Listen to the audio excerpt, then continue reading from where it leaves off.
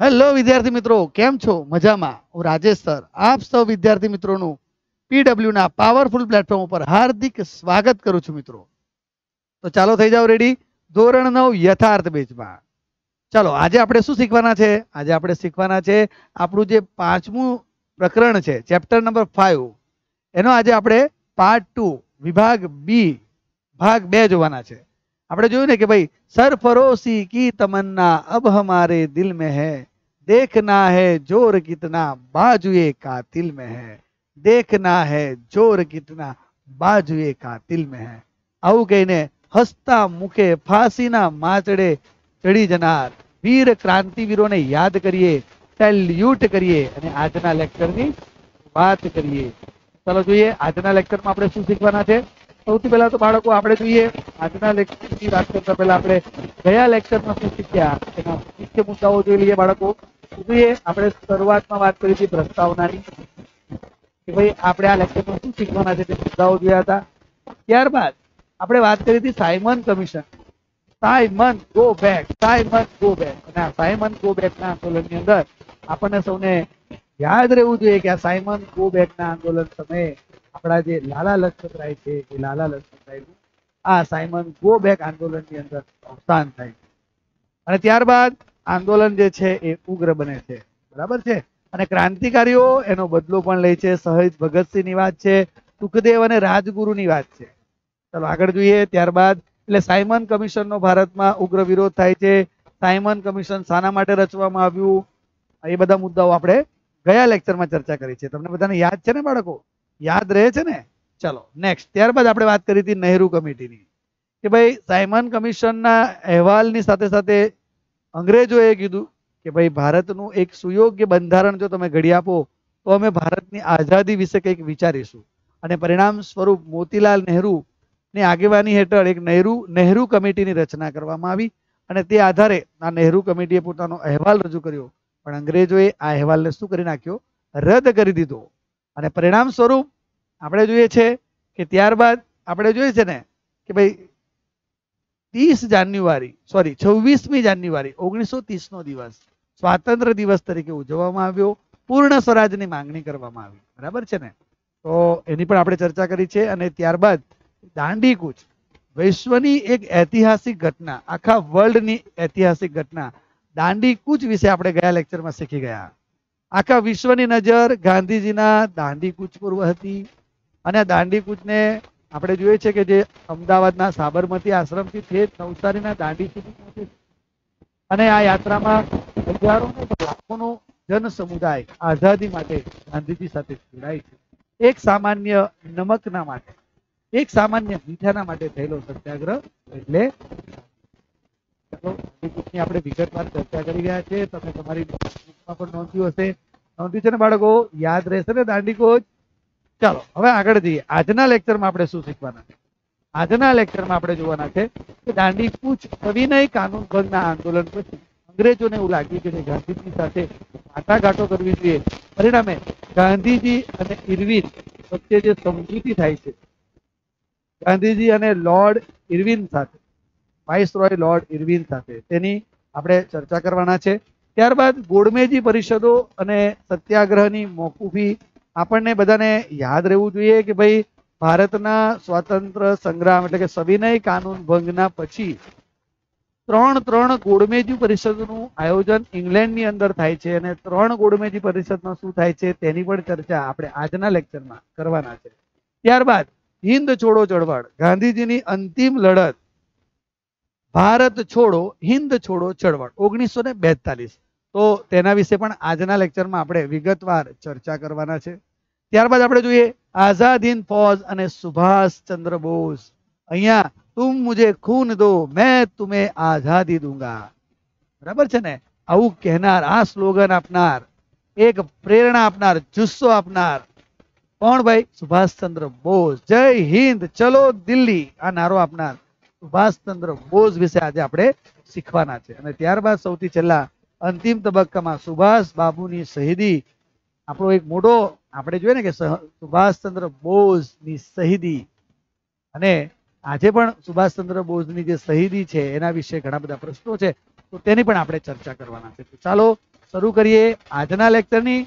Ready થઈ જાઓ બાળકો? સામાજિક વિજ્ઞાન બોરિંગ નહીં, પણ બોરિંગ સબ્જેક્ટ છે. યસ ચલો રેડી જોઈએ, સૌથી પહેલા. આપણે વાત કરવાના છે સૌથી પહેલા ગાંધી ઇરવિન ગાંધી. ઇરવિન સંસ્કૃતિની વાત કરીશું ગુરમીજી પરિષદની વાત કરીશું, અને પછી સવિનય કાનૂન ભંગના આંદોલનની મોકૂફીની પણ વાત કરીશું. તો પહેલા આપણે જોઈએ ગાંધી અને ઇરવિન વચ્ચે. બ્રિટિશ સરકારે ભારતને કેવા પ્રકારનું બંધારણ આપવું તથા બંધારણ તથા સુધારા આપવા તે માટે ગોળમેજી અહીંયા આપણે ગોળમેજી પરિષદનું આયોજન કરવામાં આવ્યું. બંધારણમાં કયા સુધાર આપવા તે માટે ગોળમેજી રાઉન્ડ ટેબલ કોન્ફરન્સ પરિષદો બોલાવવામાં આવી.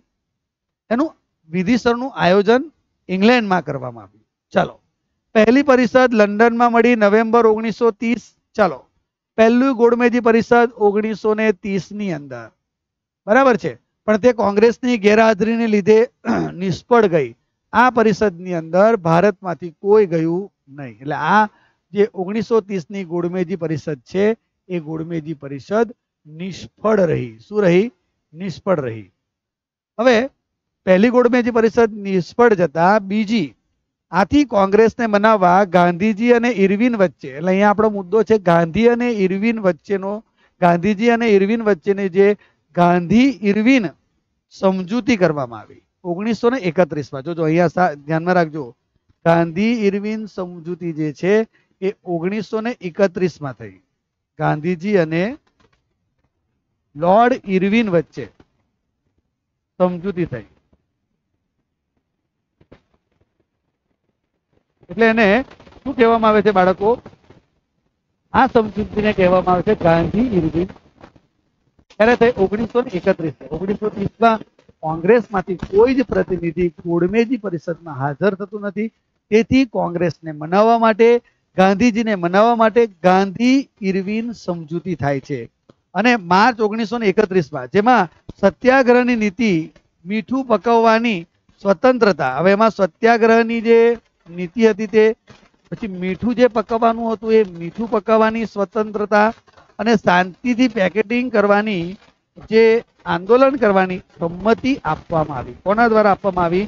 તો લોર્ડ ઇરવિન દ્વારા ગાંધીજી સાથે સમજૂતી થઈ અને તે સમજૂતીની અંદર આ ત્રણ બાબતો ભાઈ મીઠું પકવવાની સ્વતંત્રતા, શાંતિથી પેકેટિંગ કરવાનું, દારૂબંધી કરવા માટે જે પેકેટિંગ કરવાનું હતું તે કરવાનું અને સાથે સાથે શું કરવાનું છે ભાઈ?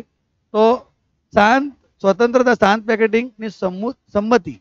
આ ગાંધી ઇરવિન કરાર દ્વારા બાળકો યાદ રાખજો બરાબર? ગાંધી ઇરવિન કરાર. હવે આ સમજૂતી થતા શું થાય છે? તો તે પછી બીજી ગોળમેજી પરિષદમાં કોંગ્રેસના પ્રતિનિધિ તરીકે એક માત્ર ગાંધીજી. જો અહીંયા માત્ર ગાંધીજી હાજર રહ્યા. એટલે કઈ પરિષદમાં ઓગણીસો ત્રીસમાં તો નહીં ગયેલા, પણ ઓગણીસો ને એકત્રીસની જે ગોળમેજી પરિષદ હોય છે, તેમાં ગાંધીજીની હાજરી હોય છે. શું રહ્યા ભાઈ? ગાંધીજી હાજર રહ્યા. ચાલો, ગાંધીજી હાજર. ઓગણીસો ને એકત્રીસની ગોળમેજી પરિષદમાં ગાંધીજી હાજર રહ્યા. પણ બ્રિટિશ પક્ષે બંધારણ ઘડતરની ચર્ચા માટે અલગ અલગ કોમ માટે અલગ અલગ મતદાર મંડળ, અલગ અલગ મતદાર મંડળ. આ જે બાબત હતી. કઈ બાબત હતી? તો ભાઈ અલગ મતદાર મંડળ. હવે આ અલગ મતદાર મંડળ જે છે, આ બાબત જે છે ગાંધીજીને પસંદ નહીં હતી. આ વિભાજનકારી મુદ્દો ઉઠાવતા ગાંધીજીએ શું કર્યું? તો નિરાશ થયા. ગાંધીજીને નિરાશા મળી કે ભાઈ અલગ મતદાર મંડળ શાના માટે આપવાનું? અને આ પરિષદ નિષ્ફળ ગઈ. એટલે અહીંયા જુઓ. અલગ અલગ મતદાર મંડળો કોના માટે? ભાઈ અલગ અલગ કોમ માટે? કોમ આધારિત મતદાર મતદાર મંડળની વાત આપવાની થતા ગાંધીજીએ આ જે બીજી ગોળમેજી પરિષદ છે, તેની અંદર વિરોધ કરે છે અને પરિણામે આ ઓગણીસો એકત્રીસની બીજી ગોળમેજી પરિષદ પણ ફેલ જાય છે, નિષ્ફળ જાય છે ગાંધીજી નિરાશ થઈને ભારત પાછા ગાંધીજી નિરાશ થઈને ફરી પાછા ભારત આવી જાય છે. ઓકે હવે ત્યાર પછી ત્રીજી ગોળમેજી પરિષદનું આયોજન કરવામાં આવે છે અને ત્રીજી ગોળમેજી પરિષદમાં પણ કોંગ્રેસ તરફથી કોઈ જતું નથી અને ત્રણ ગોળમેજી પરિષદનું આયોજન ભારતને મનાવવા માટે, કોંગ્રેસને મનાવવા માટે, ગાંધીજીને મનાવવા માટે થાય છે. એ બધા જ ગોળમેજી પરિષદ છે. નિષ્ફળ જાય છે. હવે ત્યારબાદ ભારતનો જે સ્વાતંત્ર્ય સંગ્રામ છે, એની વધુ દિશા આપવા માટે, વધુ ગતિ આપવા માટે ગાંધીજીએ હિન્દ છોડો ચળવળ ઓગણીસો ને બેતાલીસ આ ખાસ ધ્યાનમાં રાખજો બાળક. હિન્દ છોડો ચળવળ જે છે, હવે સમજો, શું થાય છે?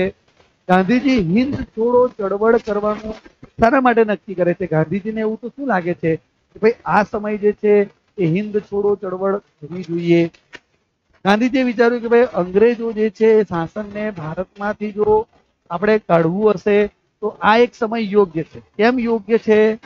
તો યોગ્ય સમયની રાહ જોતા હતા તે યોગ્ય સમય આવી ગયો છે. વિશ્વ યુદ્ધ આપણે જોયું ને કે ભાઈ બીજું વિશ્વ યુદ્ધ ક્યારે થયું? બાળકો, ઓગણીસો ઓગણચાલીસમાં થયું અને ઓગણીસો પિસ્તાલીસ સુધી ચાલ્યું. એટલે ઓગણીસો ઓગણચાલીસથી શરૂ થયેલા બીજા વિશ્વયુદ્ધને ગાંધીજીએ વિચાર્યું કે આ સમય યોગ્ય છે અંગ્રેજોને ભારતમાંથી કાઢવા માટે. બદલાયેલા સંજોગોને ધ્યાનમાં રાખીને કોંગ્રેસની કાર્યવાહી સમિતિએ વ્યક્તિગત સત્યાગ્રહ બંધ કરવાનો નિર્ણય લીધો. હવે સર, આ વ્યક્તિગત સત્યાગ્રહ કોણે કરેલો? વ્યક્તિગત સત્યાગ્રહ. આ વ્યક્તિગત સત્યાગ્રહ કરનાર હતા વિનોબા ભાવે. કોણ હતા? વિનોબા ભાવે. ગાંધીજીએ આ વિનોબા ભાવેને વ્યક્તિગત સ્વતંત્રતા માટે નક્કી કર્યા હતા અને વિનોબા ભાવે બહુ સરસ રીતે વ્યક્તિગત સત્યાગ્રહ કરે છે.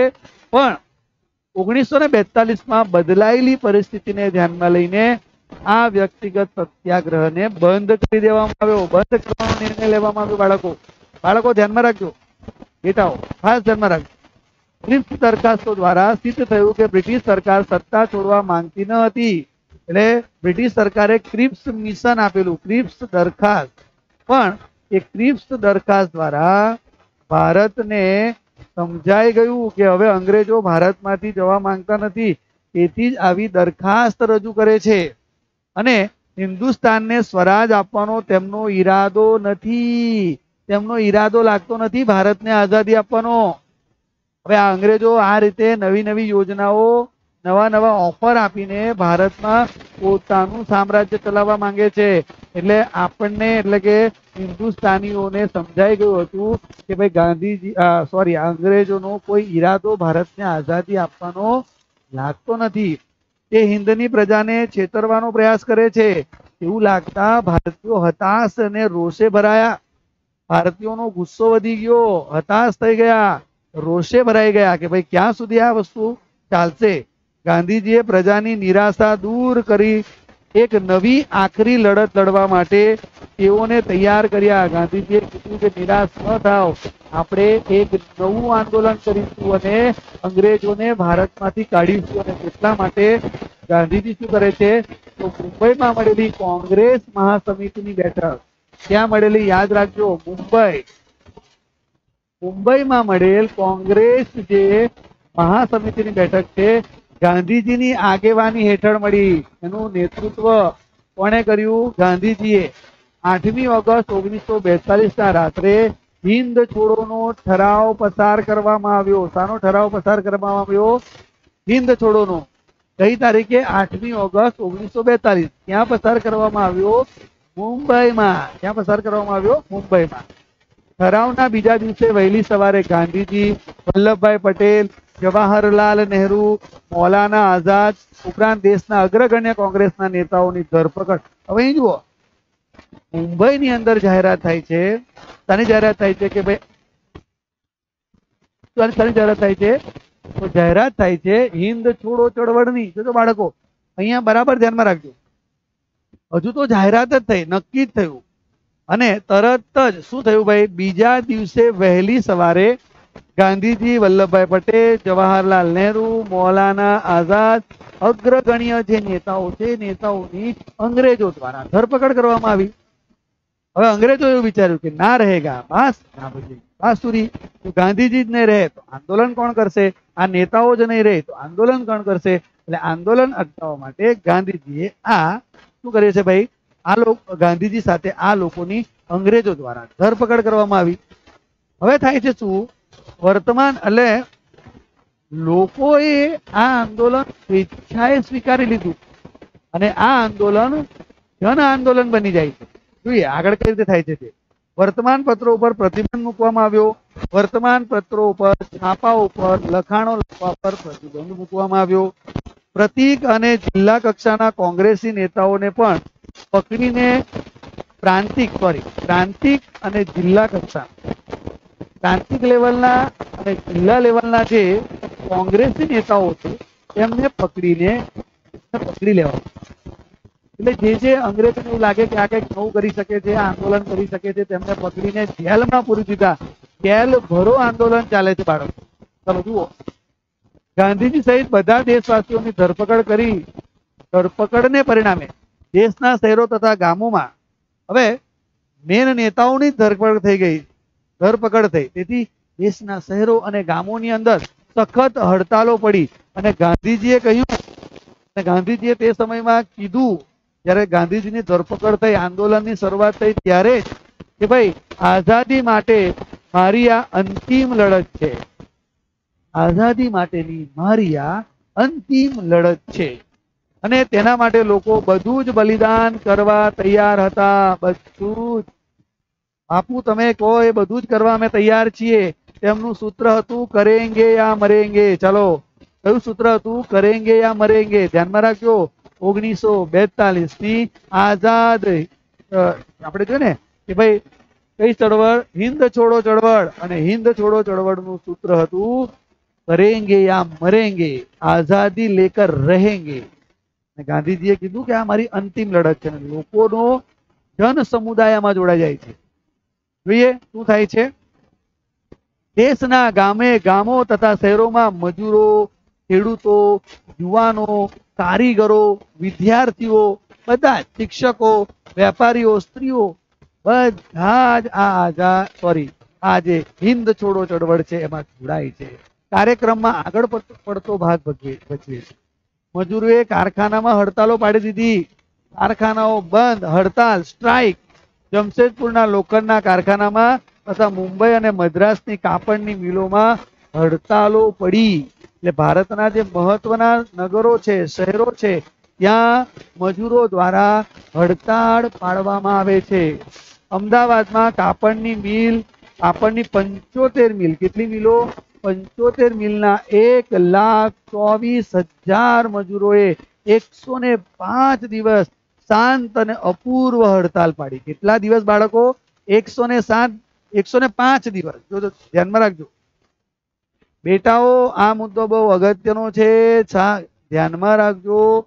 આ જે આંદોલન છે, અમદાવાદમાં જે કાપડની મિલો છે, પંચોતેર મિલો, એના એક લાખ ચાલીસ હજાર મજૂરોએ એકસો ને પાંચ દિવસ સુધી હડતાલ પાડી. વિચાર કરો. શાળા, કોલેજોમાં હડતાલો પડી. શાળા અને કોલેજો બંધ. સર, અમને તો બહુ ગમે, સર. તમે હમણાં બંધ કરી દો તો અમે પણ હવે શું કામ ભાઈ? ત્યારે તો ભારત ગુલામ હતો.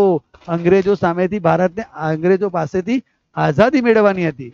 હવે શાળા બંધ નહીં થાય. હવે જોઈએ ને, કે ભાઈ શાળા કોલેજોમાં હડતાલ હવે નહીં.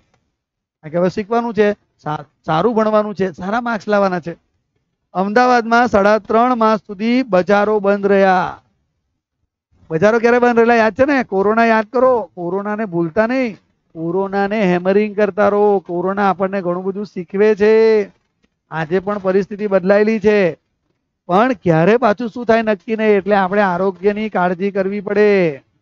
ગમે તેવું વર્તન નહીં ચાલે ભાઈ. બે જવાબદાર પણ કાળજી કરવી પડે. એટલે અહીંયા જુઓ. શું થાય છે? અમદાવાદમાં સાડા ત્રણ માસ સુધી બજારો બંધ. લોકડાઉન લોકડાઉન નો અનુભવ આપણને બરાબર છે બાળકો? છે ને તમને અનુભવ? ઓકે ચલો. આગળ જઈએ. દેશમાં ચારે તરફ લોકોનો ક્રોધ બ્રિટિશ સરકાર સામે ભભૂકી ઉઠ્યો. લોકોને બ્રિટિશ સરકાર ઉપર ગુસ્સો આવવા લાગ્યો. શાંત દેખાવોની સામે સરકારે દમન નીતિ અપનાવતા શહેરો તથા ગામડાઓના લોકોના ટોળાઓ સાર ટેલિફોન, રેલવે લાઇન, સરકારી મકાનો, પોસ્ટ ઓફિસો, પોલીસ સ્ટેશન સરકારી કચેરી, પુલો, રસ્તા, શાળા, જાહેર મકાનો, રેલવે સ્ટેશનો વગેરે તોડી નાખવાના. જ્યાં જ્યાં અંગ્રેજી સરકારી ઇમારત દેખાય, મકાન દેખાય, મિલકતને લૂંટવાના અને આગ લગાડવાના બનાવો મોટા મોટા પ્રમાણમાં બનવા લાગ્યા. આવી ઘટનાઓ શરૂ થઈ ગઈ. જ્યાં જ્યાં ઠેર ઠેર ભારતમાં આવી ઘટનાઓ થઈ જાય છે. રેલવેને વધુ નુકસાન થયું. કેટલાક વિસ્તારોમાં લોકોએ બોમ્બનો પણ ઉપયોગ કર્યો. ક્યાંક ક્યાંક તો બોમ્બનો પણ ઉપયોગ કરવામાં આવે છે. આમ આંદોલન ઉગ્ર બનતું જાય છે. આગળ. આ લડતની ઉગ્રતા અને મોટા વ્યાપ, વ્યાપને કારણે સામુદાયિક ધરપકડો. સામુદાયિક ધરપકડ. બધાને ટોળે ટોળા પકડીને જેલમાં લઈ જાય. જેલોની જેલો ઉભરાઈ ગઈ. જેલમાં જગ્યા નહીં. ક્યાં રાખવું બધાને? બીજી વાત કરીએ. દમન નીતિની ટૂંકા સમયગાળામાં સરકારને કચડી નાખવાની નીતિ પર પર ન પડી. એટલે એ ને આ દમણ નીતિની ટૂંક સમયમાં જે સરકાર એવું વિચારતી હતી કે કચડી નાખવાની નીતિ, પણ એ નીતિ પાર નહીં પડી. આ વખતે ભારતના જન સમુદાય જે ભારતના આંદોલનકારીઓ છે, એ સરકારને કાઢ્યા નહીં. આખા દેશમાં ઠેર ઠેર ખૂબ મોટા પ્રમાણમાં લડતો ફેલાવો થયો. ભાંગફોડ દ્વારા સરકારી તંત્રને ખોરવી નાખવાનો પ્રયાસ કરવામાં આવ્યો. સિત્તેર હજાર કરતા વધારે લોકોને જેલમાં પૂર્યા. સેવન્ટી થાઉઝન્ડ પીપલ સિત્તેર હજાર કરતા વધારે લોકો જેલમાં. અને આ ચળવળ દરમિયાન પાંચસો ને આડત્રીસ વાર ગોળીબાર કરવામાં આવ્યો. ખાસ ધ્યાનમાં રાખજો બાળકો. બાળકો ખાસ ધ્યાનમાં રાખજો. લખતી વખતે શું લખવાનું છે તે? સિત્તેર હજાર કરતા વધુ લોકો શું બન્યા ભાઈ? જેલમાં ગયા. અને પાંચસો ને આડત્રીસ વાર ગોળીબાર કરવામાં આવ્યો. ફાયરિંગ થયું. આની અંદર એક હજાર ને અઠ્યાવીસ માણસોએ જાન ગુમાવ્યા. એક હજાર અઠ્યાવીસ બત્રીસો માણસોને ઈજા થઈ. અમદાવાદ અને પાટણમાં ગોળીબાર કરતા વિદ્યાર્થીઓ પણ મૃત્યુ પામ્યા હતા. અંગ્રેજોએ વિદ્યાર્થીઓને પણ બાકી રાખ્યા નહીં હતા બાળકો. ધ્યાનમાં રાખજો. આ લડતમાં લોકોએ જે વ્યક્તિગત તથા સામુદાયિક વીરતા બતાવી તેથી વિશ્વની તેથી વિશ્વની સાથે બ્રિટિશ સરકાર પર પણ એવી છાપ પડી કે હવે વધુ સમય ભારતમાં પોતાનું શાસન ટકાવી શકશે નહીં. વિશ્વને પણ ખબર પડી ગઈ અને બ્રિટિશરોને પણ ખબર પડી ગઈ કે હવે ભારતમાં વધુ સમય સુધી શાસન ટકાવી શકાશે નહીં. ચળવળમાં લોકોએ સ્વયંભૂ ચળવળ ચલાવી. જો બહુ મહત્વની વાત છે, બહુ ઇમ્પોર્ટન્ટ સ્વયંભૂ કોઈ પણ નેતા નહીં, જાતે જ આંદોલનને વેગ આપી દીધો. અને હિન્દ છોડો શબ્દ લોકોએ સ્વયંસ્ફુરિત ઘોષણા દ્વારા અપનાવેલો હતો. સ્વયંસ્ફુરિત હિન્દ છોડો, અંગ્રેજો હિન્દ છોડો, અંગ્રેજો ભારત છોડો, બસ એ જ નારો. આ સૂત્રથી ડોમિનિયન. ડોમિનિયન જે સ્ટેટ છે, ડોમિનિયન સ્ટેટ સ્થાનિક સ્વરાજ્યનો ખ્યાલ અદ્રશ્ય થઈ ગયો. હવે અમને સ્થાનિક સ્વરાજ્ય નહીં જોઈએ, પૂર્ણ સ્વરાજ. કેવું સ્વરાજ જોઈએ? પૂર્ણ સ્વરાજ જોઈએ. ચાલો, હવે તો પૂર્ણ સ્વરાજ જ જોઈએ. માટે કટિબદ્ધ થયા. ત્યારબાદ પાંચ વર્ષે ભારતને સંપૂર્ણ સ્વતંત્રતા મળી. કેટલા વર્ષે મળી? ઓગણીસો ને બેતાલીસમાં થયેલી આ હિન્દ છોડોની ચળવળ અને ત્યારબાદ પાંચ વર્ષે એટલે કે ઓગણીસો ને સુડતાલીસમાં ભારતને શું મળી? ભારતને આઝાદી મળી. અંગ્રેજી શાસનથી આઝાદી મળી. કેટલા વર્ષ પછી? પાંચ વર્ષ પછી આઝાદી આમ હિન્દ છોડોની ચળવળ એ આઝાદી માટે શું બને છે? આઝાદી માટે પ્રેરક બને સમજાય ગયું બાળકો? હિન્દ છોડોની ચળવળ સમજાય. દીકરાઓ, ખ્યાલ રહેશે મુદ્દાઓ ટોપિક ખ્યાલ રહેશે ને? ચાલો, આગળ જઈએ. હવે આવે છે આઝાદ હિન્દ ફોજ અને સુભાષ ચંદ્ર બોઝ. સુભાષચંદ્ર બોઝને ગાંધીજી પછી આવે છે સુભાષચંદ્ર આ ચેપ્ટરની અંદર બે બે મહાનાયક રાષ્ટ્રીય સ્તરના નેતાઓ આપણને ભણવા મળે છે. ચલો હવે જોઈએ સુભાષચંદ્ર બોઝ. સુભાષચંદ્ર બોઝની વાત જ ન્યારી છે. નેતાજી સુભાષચંદ્ર બોઝ. હવે સમજી લઈએ. સુભાષચંદ્ર બોઝનો જન્મ ઓરિસ્સા રાજ્યના કટક શહેરમાં થયો હતો. કયા શહેરમાં થયો હતો? ઓરિસ્સાના.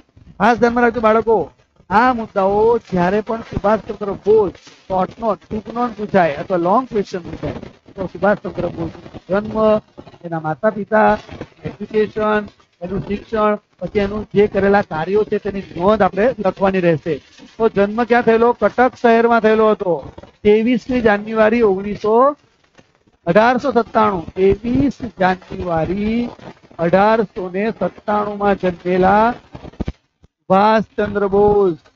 તેમના પિતા રાય બહાદુર જાનકીનાથ બોઝ. પિતાનું નામ રાય બહાદુર જાનકીનાથ બોઝ. એ કાનૂની ક્ષેત્રે વકીલ હતા.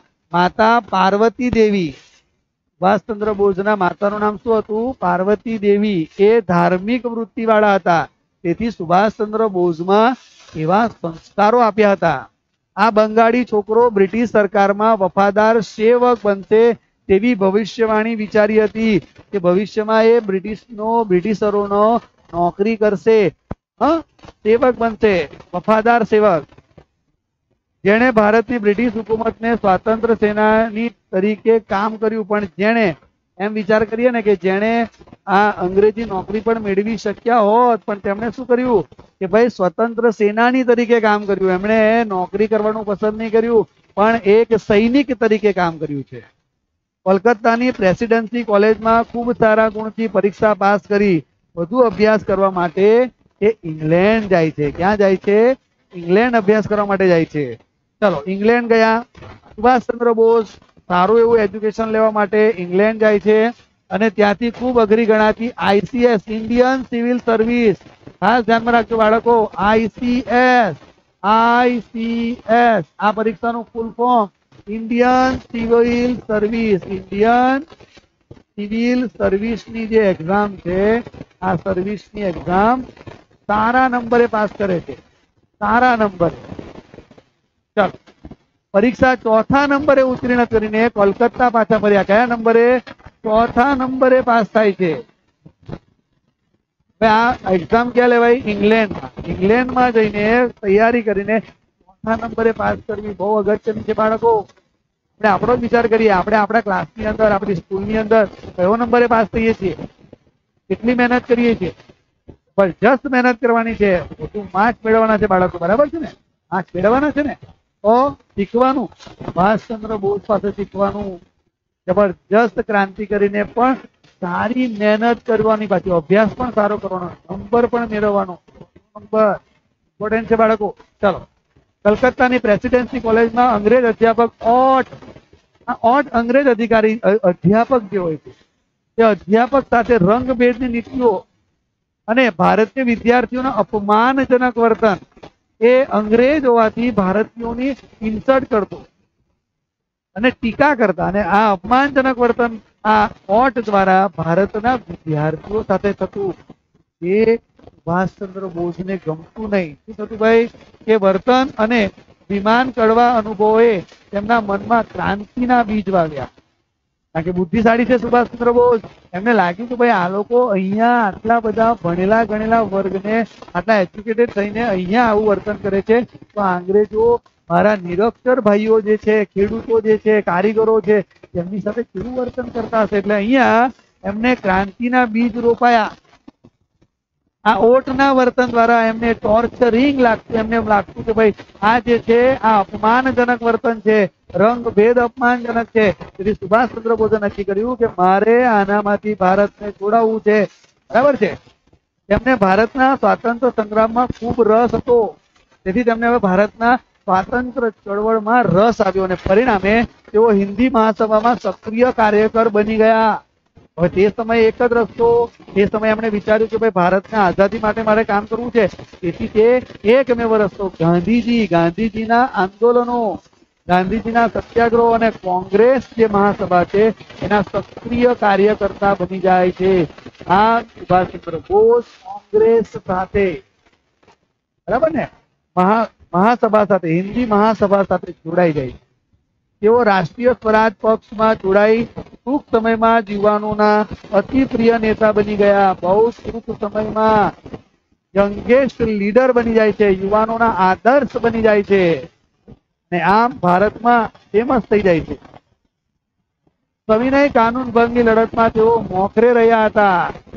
સવિનય કાનૂન ભંગની લડતમાંથી જ જોડાઈ ગયેલા હતા અને જેલવાસ પણ, તેમણે જેલવાસ પણ વેઠ્યો હતો. જેલમાં બી ગયા હતા ભાઈ. બોઝ સવિનય કાનૂન ભંગની આંદોલન વચ્ચે જેલમાં ગયેલા હતા. ઈસવીસન ઓગણીસો ને આડત્રીસમાં માત્ર એકતાલીસ વર્ષની યુવાન વયે હરિપુરા હરિપુરા ક્યાં છે ભાઈ? સુરત જિલ્લામાં છે. ગુજરાતના, દક્ષિણ ગુજરાતના, સુરત જિલ્લાના, બારડોલી તાલુકામાં આવેલું હરિપુરા ગામ. અને આ કોંગ્રેસ અધિવેશનના પ્રમુખ સ્થાને નિમણૂક પામ્યા. એકતાલીસ વર્ષની ઉંમરે માત્ર એકતાલીસ વર્ષે કોંગ્રેસના પ્રમુખ બને છે. બરાબર છે? કોંગ્રેસ અધિવેશનના પ્રમુખ ઓગણીસો ને આડત્રીસમાં હરિપુરામાં. ક્યાં બને છે? હરિપુરા, સુરત. સુરત જિલ્લાનું હરિપુરા ગામે. અને યોગ્યતા એમણે દર્શાવી એટલે અહીંયા જુઓ, યોગ્યતા હોય તો જ મળે ને પ્રમુખ પદ તો એમને મળે નહીં. જબરજસ્ત કાર્ય કરવાની શક્તિ, આદર્શ અને યુવાઓને પ્રિય એવા સુભાષચંદ્ર બોઝને ઓગણીસો ને આડત્રીસ ના હરિપુરા કોંગ્રેસ અધિવેશનમાં પ્રમુખ પદ મળે છે. સુભાષ બાબુના વિચારોને ગાંધીજીના વિચારો સાથે ખાસ મેળ બેસતો ન હોવાથી એટલે ગાંધીજીના વિચારો આપણે ભણી ગયા. ગાંધીજી સત્ય અહિંસા સત્યાગ્રહ દ્વારા લડવા માનતા હતા. સુભાષ સુભાષચંદ્ર બોઝ એ સૈન્ય શક્તિ દ્વારા. બરાબર ને? સૈન્ય શક્તિ દ્વારા, યુદ્ધ દ્વારા. જીતવા માંગતા હતા. એટલે બંનેના વિચારોમાં શું હતું? મતભેદ. ગાંધીજી અને સુભાષચંદ્ર બોઝ વચ્ચે મતભેદ થાય છે. અને પરિણામે શું થાય છે? કોંગ્રેસ છોડી ફોરવર્ડ બ્લોક. પરિણામે સુભાષચંદ્ર બોઝ ગાંધીજી સાથે મતભેદ થતા કોંગ્રેસનો છેડો પાડે છે. અને ફોરવર્ડ બ્લોક નામની સંસ્થા નવા રાજકીય પક્ષની નવા રાજકીય પક્ષની સ્થાપના કરી. બાળકો, બેટાઓ, યાદ રાખજો.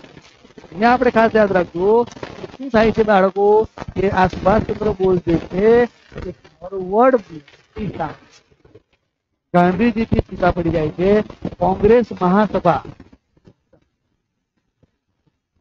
હવે અવિરત આપણે જો અવિરત સભાઓ સંબોધવી સભાઓ વરવી સભાઓ સંબોધવી દેશમાં પ્રવાસ કરવો, બ્રિટિશરો વિરુદ્ધ જનમત જાગૃત કરવાના આશયથી ઠેર ઠેર પ્રવાસો થઈ રહ્યા. જ્યાં જાય ત્યાં સભાઓ સરગતો ભાષણો બ્રિટિશરો વિરુદ્ધ આપણે જોઈએ ને, ઠેર ઠેર એમને પ્રવાસ કરીને જનમત જાગૃત કરવાનું કામ સુભાષચંદ્ર બોઝે કર્યું આગળ ધીરે અંતે હિન્દ સંરક્ષણ ધારાને આગળ ધરી તેમની ધરપકડ. જો તો અહીંયા કયા ધારા દ્વારા ધરપકડ થઈ? તો હિન્દ સંરક્ષણ હિન્દ સંરક્ષણ ધારા દ્વારા તેમની ધરપકડ કરવામાં આવે છે. અને ઈસવીસન ઓગણીસો ને ચાલીસમાં તેમની ધરપકડ થઈ. કારાવાસમાં એક રાજકીય કેદી તરીકે તેમની સાથે અયોગ્ય વ્યવહાર કરવામાં આવ્યો. જેલમાં અંગ્રેજો દ્વારા તેમની સાથે અયોગ્ય વ્યવહાર થયો અને તેમણે અમરણાંત ઉપવાસ કર્યા સુભાષચંદ્ર બોઝ પણ ધમકી આપે એવા હતા ઉચકી જાય હતા, લડત આપે એવા હતા. એટલે સુભાષચંદ્ર બોઝે અમરનાથ ઉપવાસ આવું ખાવાનું મળે છે, નહીં જોઈએ મને આવું ખાવાનું. જરાક માણસ તરીકેનું વર્તન તો કરો. આવું વર્તન તો જાનવર સાથે પણ નહીં થાય. અને પરિણામે તેમણે અમરનાથ ઉપવાસ આદર્યા તેમની તબિયત કથળતા તેમને પોતાના નિવાસ સ્થાને જ નજર કેમ? ક્યાં રાખવામાં આવ્યા. ખાસ ધ્યાનમાં રાખજો બાળકો. ત્યાં તેમના નિવાસ સ્થાને તેમના ઘરે ઘરે જ એમને નજર કેદ કરવા. નજર કેદ એટલે ઘરની અંદર ત્યાં પોલીસ કર્મી ગોઠવી દેવામાં આવ્યા તેમને ઘરમાંથી બહાર નીકળવાનું નહીં. પરંતુ તેઓ પઠાણના છુપાવેશમાં જો ધ્યાન રાખજો અહીંયા. નજર કેદ કરવામાં આવે ને ત્યાં તે ઉપવાસ ઉપવાસનું કરે છે, મૌન વ્રત સુવાનું કરે છે. અને પોતાની બહેનનો સપોર્ટ લે છે. પોતાની સિસ્ટર અને બહેનના મદદથી એ રાત્રે ત્યાંથી પલાયન છૂટી જાય છે અને ત્યાંથી ક્યાં જાય છે? છુપાવે છે? કોના છુપાવે છે? પઠાણના વેશે. પઠાણનો વેશ ધારણ કરીને, કારણ કે સુભાષચંદ્ર બોઝને તો બધા ઓળખતા જ હતા. પરિણામે ઓળખાય નહીં ઉદ્ધાન છુપાવવા માટે પઠાણનો વેશ ધારણ કરે છે. અને કલકત્તાથી પેશાવર પેશાવર એટલે પાકિસ્તાન.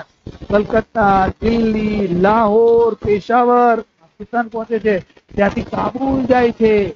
જો ભાઈ, અહીંયા સુભાષચંદ્ર બોઝની આપણે યાત્રા જોઈએ તો અહીંયા કોલકાતા ક્યાં છે ભાઈ કોલકાતા થી નીકળેલા ઘરથી ત્યારબાદ જાય છે દિલ્હી. દિલ્હી થી પહોંચે છે અમૃતસરથી લાહોર. લાહોરથી પહોંચે છે પેશાવર ક્યાં પહોંચ્યા પેશાવર અહીંયા. પછી કાબુલ પેશાવરથી ક્યાં જાય છે? કાબુલ જાય છે. અને કાબુલથી પછી ઈરાન આવ્યા કાબુલથી પછી ક્યાં ગયા ઈરાન આમ ઈરાન ગયા અને ઈરાન રશિયા થઈ બર્લિન પછી ત્યાંથી ઈરાનથી પાછા ક્યાં ગયા રશિયા અને રશિયા થી ક્યાં ગયા બર્લિન પહોંચે છે ક્યાં પહોંચે છે બર્લિન બર્લિન એટલે જર્મની પહોંચ્યા. આમ ભારતમાંથી જર્મની સુધી પહોંચી જાય છે. સુભાષચંદ્ર બોઝની જે આપણે વિચાર કરીએ કેટલું જબરજસ્ત, જબ્બર સાહસ કહેવાય આને. જબ્બર સાહસ. કલકત્તાથી નીકળીને જર્મની પહોંચવું કેવડું મોટું સાહસ. વિદેશો, કેટલા બધા દેશો સફર કરીને પહોંચ્યા છે. ને અઠ્યાવીસ પાંચ ઓગણીસો ને બેતાલીસે ત્યાં પહોંચ્યા. ત્યાં પહોંચ્યા અઠ્યાવીસ પાંચ ઓગણીસો બેતાલીસે. ઓગણીસો બેતાલીસમાં પહોંચે છે જર્મની. જર્મનીમાં તેમનું ભારતીયોએ ઉષ્માભર્યું સ્વાગત કર્યું. જર્મનીની અંદર સ્વાગત કરવામાં આવ્યું. બર્લિનના રેડિયો પરથી તેમણે પોતાના દેશ બાંધવોને બ્રિટન સામે જિહાદ ચગાડવા માટે વિચાર કરો. જર્મનીના બર્લિન રેલ રેડિયો સ્ટેશન ઉપરથી ભારતની જે પ્રજા છે, ભારતના જે સ્વતંત્ર સેનાનીઓ છે, ભારતના જે બાંધવો છે એમને બ્રિટન સામે જિહાદ જગાડવા માટે યુદ્ધ કરવા માટે, હા સ્વાતંત્ર્ય ચળવળ ચલાવવા માટે અનુરોધ કર્યો એટલે તો ભારતમાં રહેલા અંગ્રેજો તો વિચારમાં જ પડી ગયા. હવે ક્યાંથી ક્યાં પહોંચી ગયા છે? હવે આ લોકોને કઈ રીતે પકડવું? આખા ભારતમાં એમને પકડવા માટે અભિયાન ચાલતું હતું અને એ પહોંચી ગયા હતા. જર્મની આ આવા હતા. ઓ. બહુ પાવરફુલ, શક્તિશાળી અને બૌદ્ધિક લેવલના વ્યક્તિ. ત્યાંથી એમણે રેડિયો ઉપર પાછા અંગ્રેજોને સંભળાવ્યા. ને ભારતના લોકોમાં રાષ્ટ્રીય જાગૃતિ લાવવાનું કામ કર્યું. જર્મનીમાં હિટલર સાથે ભારતની આઝાદી વિશે ચર્ચા કરી. બહુ મુદ્દો, મોટો મુદ્દો, બહુ મોટો મુદ્દો છે. હિટલર સાથે પહોંચી ગયા. હિટલર સાથે હાથ મિલાવીને વાત કરનાર. તમને આપણને ખબર છે હિટલર કેટલો જનૂની હતો સામ્રાજ્યવાદી એમની સાથે આ જર્મનીમાં હિટલર સાથે બીજા વિશ્વયુદ્ધમાં પહોંચી જાય છે. પહેલા રોમ અને પેરિસમાં સ્વતંત્ર ભારતને લગતા લશ્કરી એકમો સ્થાપી તેમાં ત્રણ હજાર ભારતીયોની ભરતી કરી. ક્યાં ભાઈ રોમ અને પેરિસમાં એટલે ઇટાલી અને ફ્રાન્સમાં ત્રણ હજાર સૈનિકો શરૂઆત કરે છે. ભારતીયોની ભરતી કરે છે.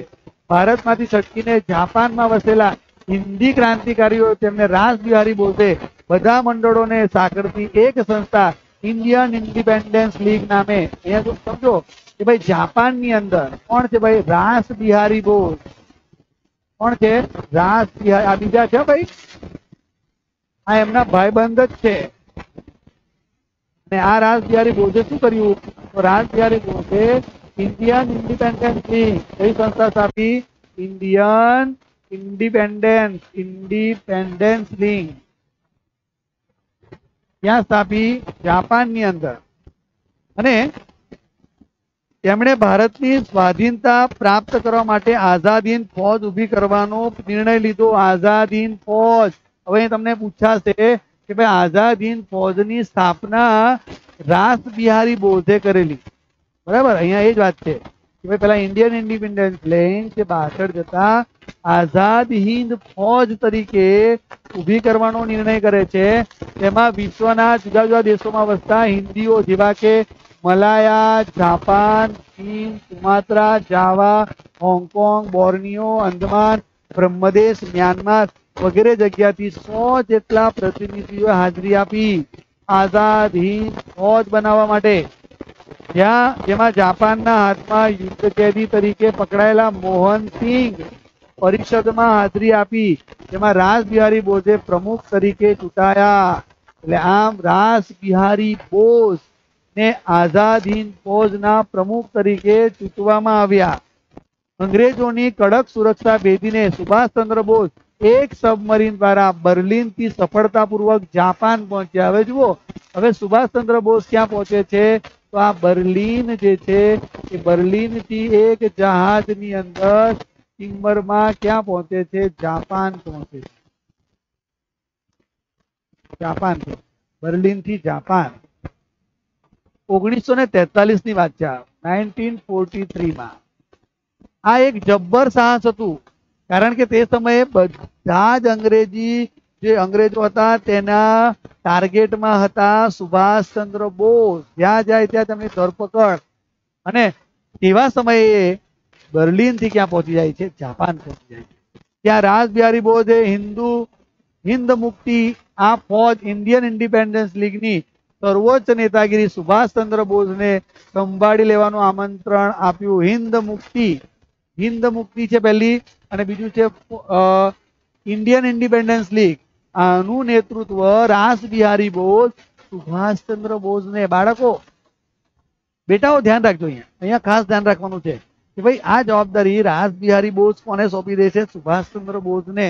અને આમંત્રણ આપ્યું. આ ફોજ માત્ર હિન્દી સૈનિકોની અને હિન્દી અધિકારીઓની જ અને ભારતની મુક્તિ માટે જ લડશે. એનું ધ્યેય છે ભારતની મુક્તિ. કેમ નક્કી થયેલ? જેમાં જાપાન અને અગ્નિ એશિયાના હિન્દીઓની મદદ મળી. જાપાનના વડાપ્રધાન ટોઝો. જાપાનના વડાપ્રધાન કોણ ભાઈ? ટોઝો. અને સાથે મુલાકાત થઈ. કોની સાથે મુલાકાત થઈ? જાપાનના વડાપ્રધાન ટોઝો સાથે સુભાષચંદ્ર બોઝની મુલાકાત થાય છે. હવે જાપાનના વડાપ્રધાન સાથે તેમણે હિન્દના પૂર્ણ સ્વરાજ માટે તમામ પ્રકારની સહાય જાપાન કરશે તેવું નક્કી કર્યું. ટોઝો જાપાનના જે પ્રમુખ છે, તે શું કહે છે વડાપ્રધાન? કે અમે આઝાદ હિન્દ ફોજને બનતી બધી જ સહાય જાપાન કરશે એવું જાપાનના વડાપ્રધાન ટોઝોએ કીધું. ચાલો. જાપાનીઝ લશ્કર હિન્દમાં આગળ વધે, તેમ તેમ કામ ચલાઉ સરકાર. ત્યાં રચીને ત્યાંનો વહીવટ તેમને સોંપાશે. કોને સોંપાશે? હિન્દ આઝાદ હિન્દ ફોજ. જાપાન તેને માન્યતા પણ આપશે. એટલે આઝાદ હિન્દ ફોજ જેટલો વિસ્તાર જીતશે, એને માન્યતા પણ જાપાન આપશે. સુભાષ ચંદ્ર જાપાનથી સિંગાપુર ગયા. જો હવે પાછા. અહીંયા જુઓ હવે પાછા. જાપાનથી ક્યાં જાય છે? સુભાષચંદ્ર બોઝ જાપાનથી પહોંચે છે સિંગાપુર. ક્યાં પહોંચે છે? સિંગાપુર પહોંચે છે. ઈસવીસન ઓગણીસો ને તેતાલીસ, ભાઈ સફર ચાલુ જ છે. અને ઓગણીસો તેતાલીસની બીજી જુલાઈ, અને ત્યાં સર્વસંમતિથી ચાર જુલાઈ ઓગણીસો તેતાલીસમાં ઇન્ડિયન ઇન્ડિપેન્ડન્સ લીગના પ્રમુખ તરીકે તેમની વરણી થઈ. ત્યાં સિંગાપુરમાં એમને ઇન્ડિયન ઇન્ડિપેન્ડન્સ લીગના પ્રમુખ બનાવવામાં આવ્યા. સાથોસાથ Rasbihari બોઝે Indian national army INA Azad Hind ફોજના વડા તરીકે સ્વેચ્છાએ નિવૃત્તિ લઈ લીધી. રાસ બિહારી બોઝે આઝાદ હિન્દ ફોજમાંથી એટલે કે આપણે એનું નામ છે ઇન્ડિયન નેશનલ આર્મી. એનામાંથી સ્વેચ્છાએ નિવૃત્તિ લે છે અને સુભાષચંદ્ર બોઝને આઝાદ હિન્દ ફોજના વડા બનાવી દેવામાં આવે છે. અને આઝાદ હિન્દ ફોજના વડા તરીકે નિમણૂક કરવામાં આવે છે. આમ સુભાષચંદ્ર બોઝની આઝાદ હિન્દ ફોજની તમામ જવાબદારી સુભાષચંદ્ર બોઝને સોંપી દેવામાં આવે છે. ત્યાં વસતા હિન્દીઓને પોતાની માતૃભૂમિને મુક્ત કરવા માટે યોગ્ય અને સમર્થ નેતા મળ્યો. હવે તો એક જુસ્સો આવી ગયો. યોગ્ય નેતા મળી ગયો. આઝાદી માટેનો સમર્થ નેતા મળી જાય છે. ત્યારથી સુભાષચંદ્ર બોઝને તેમણે નેતાજીનું ગુલામનું નામ આપ્યું. ત્યારથી સુભાષચંદ્ર બોઝને કયું નામ મળ્યું ભાઈ? નેતાજી સુભાષચંદ્ર બોઝ. આપણે બોલે છીએ નેતાજી સુભાષચંદ્ર બોઝ. નેતાજીનું નામ આપવામાં આવ્યું એમને. ચાલો. નેતાજીએ સૈનિકોને, ચલો દિલ્હી. કયું સૂત્ર આપ્યું ભાઈ? નેતાજીએ કીધું, ચલો દિલ્હી. એટલે આપણે દિલ્હી સુધી અટકવાનું નથી. ભારતને દિલ્હી મેળવવાનું છે આપણે. દિલ્હી મેળવવાનું છે. ચલો દિલ્હી. અને બીજો નારો કયો આપ્યો? જય હિન્દ. જય હિન્દ નો નારો આપનાર. આજે આપણે બોલીએ છીએ, જય હિન્દ. આ જય હિન્દ નો નારો આપનાર હતા સુભાષચંદ્ર બોઝ સુભાષચંદ્ર બોઝે કીધું, ચલો દિલ્હી જય હિન્દ. માર્ગદર્શન દ્વારા આરજી હુકુમત સમાંતર સરકારની પણ રચના કરી. એમણે જ્યાં જ્યાં વિસ્તારો જીતતા ગયા, ત્યાં આરજી હુકુમત અને સમાંતર સરકાર રચતા જાય છે. દક્ષિણ પૂર્વ એશિયાના દેશોમાં પ્રવાસ કરી ત્યાંના ભારતીયો પાસે માતૃભૂમિની સ્વતંત્રતા કાજે તેમણે સર્વસ્વ બલિદાન આપવાની માંગણી કરી. આઝાદી માટે બલિદાન જોઈએ. તું મુજે ખૂન દો, મેં તુમે આઝાદી દૂંગા. આવું કહીને આપણે જોઈએ ને, આપણે બોલીએ છીએ આઝાદી ફોજનું નેતૃત્વ એમણે સંભાળ્યું અને સાથે સાથે સુભાષચંદ્ર બોઝે કામ ચલાઉ સરકારની રચના કરી. જેમાં તેઓ વડાપ્રધાન અને લશ્કરના સર્વોચ્ચ વડા. હવે કામ ચલાઉ સરકાર. સુભાષચંદ્ર બોઝે બનાવેલી કામ ચલાઉ સરકાર. અને આ કામ ચલાઉ સરકારના એ પોતે શું બન્યા? વડાપ્રધાન. ચાલો, વડાપ્રધાન પોતે બને જાય છે, વડાપ્રધાન. અને લશ્કરના સર્વોચ્ચ વડા પણ કોણ બને છે? સુભાષચંદ્ર બોઝ. હિન્દની આ કામચલાઉ સરકારને જાપાન, જર્મની, ચીન, ઇટાલી, બર્મા વગેરે દેશોએ માન્યતા આપી. વિચાર કરો, આટલા દેશો. કેટલા દેશો બેટાઓ, કેટલા દેશો માન્યતા આપે છે? તો જાપાન, જર્મની, ચીન, ઇટાલી, બર્મા વગેરે દેશોને માન્યતા આપે છે. આ સરકારે હિન્દી ભાષાને રાષ્ટ્રીય ભાષા કીધી. રાષ્ટ્રધ્વજ તરીકે ત્રિરંગો ધ્વજ લહેરાવ્યો, પસંદ કર્યો. આવક અને માટે જાપાનની સહાય. સ્વૈચ્છિક ફાળો મિલકત પર રાખવાનું નક્કી થયું. ને નેતાજીની વાત કરીએ તો નેતાજીએ ઓગણીસો તેતાલીસમાં અંદમાન અંદમાન અને નિકોબાર ટાપુની મુલાકાત લીધી અને તેઓ તેમને શહીદ અને સ્વરાજ્ય અંદમાન નિકોબારને શું નામ આપવામાં આવ્યું? તો ભાઈ, તેમનું નામ પણ નામકરણ પણ. કોણે કર્યું ભાઈ? સુભાષચંદ્ર બોઝે. શહીદ અને રાજ. શહીદ અને રાજ. અંદમાન નિકોબાર ટાપુને આ નામ. કોના દ્વારા? સુભાષચંદ્ર બોઝ દ્વારા શહીદ અને રાજ નામ આવે છે. વિચાર કરો બાળકો તો આ, હવે આ લડત છે, બહુ પૂર જોશમાં ચાલી. આખું ચિત્ર જ બદલાઈ જાય છે. આખું દ્રશ્ય જ. પિક્ચરનું એન્ડિંગ આખું બદલાઈ જાય છે. બાકી તો હજુ આપણું ભારતનું કંઈક વિશેષ બનતું હોત, પણ કુદરતને કાં તો પરિસ્થિતિને માન્ય ન હોય, નેતાજીના નેતૃત્વ હેઠળ સૈન્યની ટુકડીઓ, રંગૂન પ્રોમ કોહિમા, હાલના નાગાલેન્ડની રાજધાની વગેરે પ્રદેશો કબજે કર્યા. મે ઓગણીસો ને ચુમ્માલીસમાં, એટલે આમ જાપાનથી શરૂ થયેલી લડત. જાપાન, સિંગાપુર સિંગાપુરથી આગળ આમ ગયા તો અહીંયા આપણા અંદમાન નિકોબાર અંદમાન નિકોબાર. આ તો જીતી લીધા ભાઈ, અંદમાન નિકોબાર. પછી બર્મા બર્મા થઈ અહીંયા પહોંચે છે. ક્યાં પહોંચ્યા પછી? તો રંગૂન રંગૂન પહોંચ્યા. રંગૂન બી લઈ લીધું ભાઈ. સોમ ને કોહિમા, રંગૂન સોમ અને પછી પહોંચે છે કોહિમા. કોહિમા ક્યાં છે ભાઈ? નાગાલેન્ડ. ભારતનું રાજ્ય ભાઈ, પૂર્વ. અહીંયા સુધી પહોંચી જાય છે.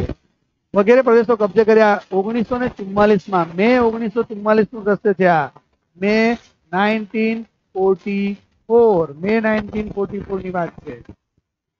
હવે તદુપરાંત ઇમ્ફાલ હાલના મણિપુરની રાજધાની પણ જીતી લીધી. હવે ત્યાર પછી ઇમ્ફાલ પણ પહોંચી જાય છે. ઇમ્ફાલ. ઇમ્ફાલ એટલે મણિપુરની રાજધાની, મણિપુર. ત્યાં સુધી પહોંચી જાય છે. બીજા વિશ્વયુદ્ધના સમયગાળા દરમિયાન અમેરિકાએ બ્રિટન તરફે યુદ્ધમાં ઝુકાવ્યું. એટલે હવે ટર્નિંગ પોઈન્ટ આવે છે. ટર્નિંગ પોઈન્ટ આખું ચિત્ર આઝાદ હિંદ ફૌજની પૂરજોશમાં વિજયક્રમ એનો ટર્નિંગ પોઈન્ટ આવે છે કે ભાઈ અમેરિકાએ બ્રિટન તરફે યુદ્ધમાં ઝુકાવ્યું અને જાપાનના નાગાસાકી અને હિરોસીમા શહેરો પર અણુબોમ્બ નાખ્યો. આખું ચિત્ર બદલાઈ જાય છે. આખું ડિસિઝન બદલાઈ જાય છે. શું થાય છે? હિરોસીમા અને નાગાસાકી ઉપર અણુબોમ્બ ફેંક્યો અને શરણાગતિ, જાપાનની શરણાગતિ. જાપાને યુદ્ધમાં હાર સ્વીકારી લીધી અને નેતાજીની આઝાદ ફોજની મળતી જાપાનની સહાય શું થઈ ગઈ? બંધ થઈ ગયું. જાપાનની જે સહાય હતી એ નેતાજીને મળતી બંધ થઈ જાય છે. તદુપરાંત બ્રિટનના હવાઈ જહાજોની અમે આઝાદીન ફોજ ઉપરના બોમ્બ મારાને લીધે સ્થિતિ વધુ વણસી ગઈ. હવે બ્રિટિશ જે છે, એ લોકોના હવાઈ જહાજો દ્વારા આઝાદ હિંદ ફોજના સૈનિકો પર આક્રમણ થાય છે, હુમલો થાય છે બોમ્બ મારો થાય છે, પરિણામે સ્થિતિ વધુ વિકટ બની જાય છે. ને આમ, આ જે વિજય યાત્રા છે આઝાદ હિંદ ફોજની, અહીંયા અટકી જાય જો બાળકો આવું ન થયું હોત, બેટાઓ આવું ન થયું હોત, તો ભારતનું ચિત્ર કંઈક નવું હોત. પણ પરિસ્થિતિને માન્ય ન હતું. તેથી આ આંદોલન અહીંયા અટકી જાય છે. સુભાષચંદ્ર બોઝે ફરી પાછું રિટર્ન થવાની વારો આવે છે. ભયંકર નુકસાન થાય છે. સૈનિકોને ભયંકર નુકસાન થાય છે. જોઈએ અહીંયા. અંતિમ તબક્કો અને સુભાષચંદ્ર બોઝની શહીદી નેતાજી સુભાષચંદ્ર બોઝ આ કપરી પરિસ્થિતિમાં વિમાન મારફતે વિમાન મારફતે જ્યારે બેંગકોકથી વિમાન મારફતે અહીંયા જુઓ વિમાનમાં બેસીને એ જતા હોય છે. બેંગકોકથી ક્યાં જવાના હોય છે? બેંગકોકથી સાયગોન ફાર્માસા ટાપુના તાઇપાઈ વિમાન મથક. ક્યાં પહોંચે છે? તાઇપાઈ. આ તાઇપાઈ વિમાન મથક છે. આ વિમાન મથક પર શું થાય છે ભાઈ? એક ઘટના બની જાય છે. આ તાઇપાઈ વિમાન મથકે પહોંચ્યા પણ વિમાનમાં અકસ્માતથી આગ લાગી જાય. અહીંયા વિમાનની અંદર આગ લાગી લાગી જાય છે? વિમાનમાં આગ લાગી આ પરિણામે આ આગ લાગવાના પરિણામે. શું લાગી જાય વિમાનમાં આગ લાગી જાય ભયંકર આગ.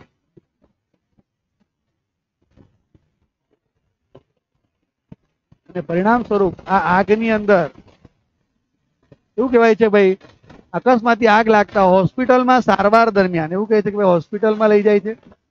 પણ આ હોસ્પિટલમાં સારવાર દરમિયાન અવસાન પામ્યા અઢાર ઓગસ્ટ હવે અઢાર ઓગસ્ટ ઓગણીસો ને પિસ્તાલીસમાં સુભાષચંદ્ર બોઝ શહીદ થાય છે. અને અહીંયા અહીંયા ડેટ છે. હવે આ ડેટ સંશોધન, અભ્યાસ, ઇતિહાસ બધું બનાવીને બનાવી છે. તો આને આ પુરાવારૂપ અત્યાર સુધીમાં એવું હતું કે સુભાષચંદ્ર બોઝ છે જ. પણ એમને એક ડેડ લાઈન સ્વીકારવામાં આવી છે કે અઢાર ઓગસ્ટે આ વિમાનમાં કઈ ઘટના બને છે? આ વિમાન દુર્ઘટનામાં, વિમાન દુર્ઘટના આ વિમાન દુર્ઘટનાની અંદર સુભાષચંદ્ર બોઝ દુર્ઘટના. મૃત્યુ થાય છે સુભાષચંદ્ર બોઝ શહીદ થાય છે. બરાબર છે? એવું પાઠ્યપુસ્તકની અંદર આપણને મળે છે સુભાષચંદ્ર બોઝની અંતિમ તબક્કો સુભાષ બાબુની શહીદી થાય છે, ઓગણીસો ને પિસ્તાલીસ. ચાલો. અલબત્ત સુભાષ બાબુના વિમાન અકસ્માતમાં અવસાન થયું, તે બાબત આ જે પણ એક વણ ઉકેલ્યું રહસ્ય છે. હજુ પણ એ રહસ્યનું રહસ્ય છે. બહુ મોટું રહસ્ય છે. હજુ રહસ્યનો પડદો પડ્યો નથી ઉકેલ આવ્યો નથી. ભવિષ્યમાં એક આ રેટ ખાલી ધારણા માટે લખ્યું બરાબર? માનવું ન માનવું, કારણ કે સંશોધન નથી પણ છતાં એનો પ્રયત્ન ચાલુ છે કે ભાઈ આના કોઈક તાર મળી જાય. તો આ હતી બાળકો આઝાદી ફોજ સુભાષચંદ્ર બોઝ અને સુભાષચંદ્ર બોઝનો અંતિમ તબક્કો. આમ સુભાષચંદ્ર બોઝની આઝાદી ફોજ અહીંયા અટકી જાય છે. અમેરિકાના જાપાન ઉપરના આક્રમણના કારણે આખી જે, આ જે યુદ્ધની પ્રક્રિયા હોય છે, આઝાદી ફોજની એ અટકે છે. ચલો દિલ્હીનો નારો, ચલો દિલ્હી સુધી પહોંચતો નથી. પણ ભારતના બોર્ડર ઉપર મણિપુર, નાગાલેન્ડ સુધી, અંદમાન અને નિકોબાર સુધી છે. મને આશા છે બાળકો, તમને ખૂબ સરસ રીતે મજા આવી હશે. મજા આવે છે ને બાળકો? સામાજિક વિજ્ઞાન બોરિંગ નથી લાગતું ને? બોરિંગ લાગે છે ને બાળકો? ચાલો, આ જ રીતે ગમત કરતા કરતા આપણે ભણીશું, બરાબર ને? ચાલો, હવે જોઈએ. આજના લેક્ચરની આપણે ચર્ચા કરી તેમ ગાંધી, ઇરવિન સમજૂતી થઈ અને સમજૂતી કેવી રહી બાળકો? નિષ્ફળ રહી. ગોળમેજી પરિષદો ત્રણ ભરાઈ, એમાં એક જ ગોળમેજી પરિષદમાં ગાંધીજી ગયા. એ પણ નિરાશ થઈને પાછા આવ્યા. હિંદ છોડો ચળવળની વાત કરી, ઓગણીસો બેતાલીસ હિંદ છોડો ચળવળ ગાંધીજી વિચાર્યું કે આ મારી અંતિમ લડત છે. કરેંગે યા મરેંગે? અને આ લડત ચાલે છે ઓગણીસો બેતાલીસ.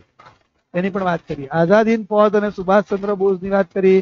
સુભાષચંદ્ર બોઝ આઝાદ હિન્દ ફોજ સુભાષચંદ્ર બોઝે જે જબર સાહસ કર્યું છે તેની વાત કરી અને ત્યારબાદ સુભાષચંદ્ર બોઝે આઝાદ હિન્દ ફોજની રચના કરી અને ભારત જે આગે કૂચ કરતા ભારતના રાજ્યોને જીતતા જીતતા ચલો દિલ્હી સુધી પહોંચવાનો સંકલ્પ કરે છે અને અંતિમ તબક્કે સુભાષ બાબુની શહીદી થાય છે આઝાદ હિન્દ ફોજનું જે સ્વપ્ન હોય છે પૂરી થાય છે. સાથે બાળકો બધા મુદ્દાઓ સમજાઈ ગયા. સમજાઈ ગયા બેટાઓ? સમજાય છે ને? ચાલો. મને આશા છે તમને બરાબર સમજાઈ ગયું હશે. તમે સમજદાર છો. હવે આપણે કરીશું હોમવર્ક. ચાલો, હોમવર્ક તો જોઈએ હોમવર્ક છે આજનું? આજનું હોમવર્ક છે આઝાદ હિન્દ છોડો ચળવળ અને એ ચળવળના વિવિધ બનાવો. વિસ્તૃત લખવાના છે. તમારી નોટબુકમાં લખજો. આઝાદ હિન્દ ફોજ ભારતે ને આઝાદી આપવા માટે બજાવેલી કામગીરીની વિગતો દર્શાવો. આઝાદ હિન્દ ફોજ સુભાષચંદ્ર બોઝ. એની વિગતો પણ આપણે વિગતવાર આપણી નોંધ પોથીમાં નોંધી લઈશું. બરાબર ને? ચાલો તો, નોંધી લઈશું બાળકો. ઓકે અને આશા છે, હજુ આપણો આના પછીનો એક મુદ્દો બાકી છે. એ ત્રીજો પાઠ ટૂંક સમયમાં લઈને તમારી સમય થઈશ બાળકો આ જ રીતે આપણે મજા કરતા કરતા इतिहास समझवा बच्चों, हमें इतिहास केवल रटना नहीं है, हमें इतिहास केवल पढ़ना नहीं है, पर हमें इतिहास रचना है। क्या करना है बच्चों, हमें इतिहास रचना है। हमें, अपने इतिहास रचवा। कई नवो संकल्प करिए कई नव कार्य करिए। आप एक इतिहास बना खबर इतिहास रचिए ચાલો એ જ આશા સાથે ફરી પાછા મળીશું નવા લેક્ચરમાં જય હિન્દ જય ભારત.